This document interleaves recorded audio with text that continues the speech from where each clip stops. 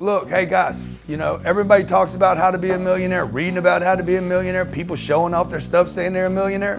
This is what $1 million looks like. It's okay, I'm not a fighter, I'm not Floyd Mayweather, I'm not Kevin Hart, I'm not a comedian. You got a better chance of being me than you got of being Dave Chappelle. Let's keep it real. Because you ain't that funny. And that ain't funny, that's serious. Get that millie.